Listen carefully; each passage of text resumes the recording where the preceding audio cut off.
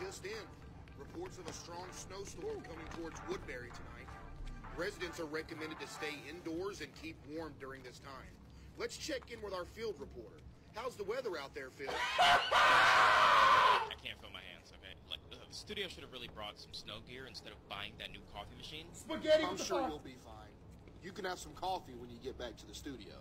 Jerry, you cannot be serious. You know my doctor said not to drink any caffeine. Sounds like someone's having a bad day. Maybe you should cool off. You little shit. Why can't you go out here and deal with the snow instead of me? I've been working here for six years and I never get to report somewhere nice. Listen, Phil, I'm just clearly the better looking one. You can worry about where you'll report once you get that rhinoplasty.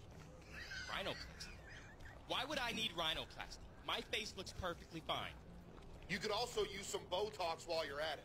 Actually, maybe you should just work as a studio light engineer behind the camera. Yo! I think it would be better field of work for you. You only got your job because your sister works at the mixing board. You would have never been able to work here if it wasn't for her. I'd like to see you work the ENG sometime. How dare you? I'm a certified news anchor. Certified? Yeah, my ass, okay? You didn't do shit. How about I come by the studio and we settle this like men? Oh, yeah? Well, let's do it, punk. We'll be right back after this commercial break. Chad, I told you! I told you there was gonna be something in here! Dude, I recorded those voice lines so long ago, Chad.